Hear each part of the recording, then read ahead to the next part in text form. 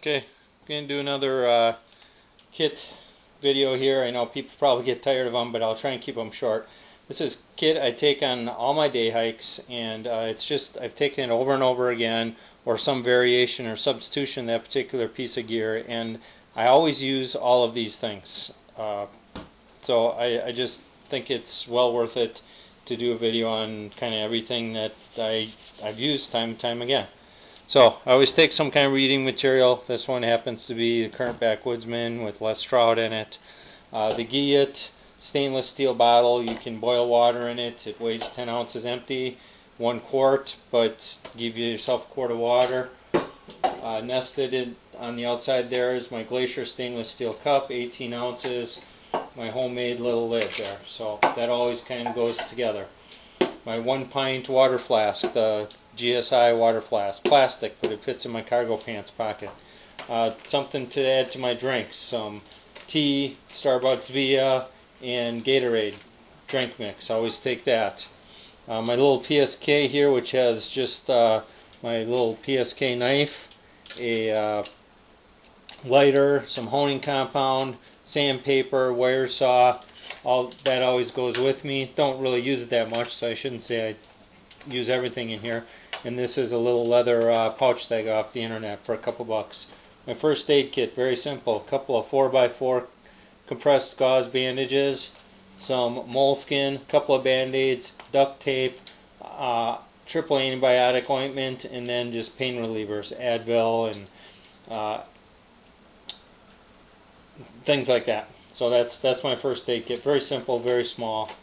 Uh, the survival fishing kit, I haven't used that yet, so that I did a review on that. That goes with me. My BK 11 uh, Becker Necker. So that goes with me with the little light. So that's my, a light source. Uh, recently acquired, but up until recently I used a headlamp, a black diamond headlamp. Now I'm using the Fenix LD20 with the headband. Lithium batteries can last up to 90 hours or 100 hours on low. I got the red filter on here for night vision and then some extra lithium batteries, waterproof. Underneath there is about a 12 by 14 half inch closed cell foam butt pad. 100 feet of paracord. Got to make a line kit with different lengths. I, I, still need to do that. I usually go out with my son, so we take our walkie-talkies so we can do a little bit exploring.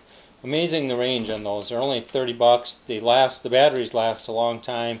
It's not going to be forever, but you know they do last a long time lunch, some kind of lunch. I take paper towel in here, could be used as TP and just wiping, cleaning out your dishes, some ramen noodles, Clif Bar, uh, you know, power bars, snacks, jerky, things like that.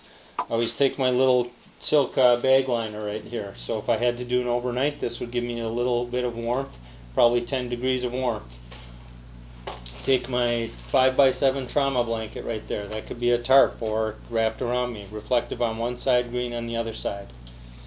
Alright, panning over here a little bit. Uh, the Trangia stove. You know, I think a lot of the Trangia, so here's a Trangia stove. Here's just a little simple hardware cloth uh, pot stand here. So it just goes in here like this. And then my windscreen. Very simple just piece of aluminum flashing. Got a little bit of extra wire and hardware cloth. The hardware cloth and, and the wire goes inside this little cardboard to protect my pack. Some matches. Uh, extra batteries. These are extra rechargeable batteries. I usually keep about 10 extra batteries for my GPS and my cam my camcorder. Could put them in here if I needed to. Pair of leather gloves, a uh, little little hat, little stocking cap, bandana. This is a little uh, camouflage head netting if you'd want to do a little bit of stealthing. Uh, mosquito head net, I take that with me. Oh, oh, here's my mosquito head net. If spring is coming, I take the mosquito head net. Every, all this fits in this 18 liter flash pack very nicely. Weighs less than 10 pounds. I take in spring mosquito repellent and I always have my rain jacket either on me or in my bag and my rain pants. That's the whole kit. Just wanted to make it quick. And again, I use practically everything on here every time I go out. And of course, my trekking pole. That's my whole kit. Very Essentials.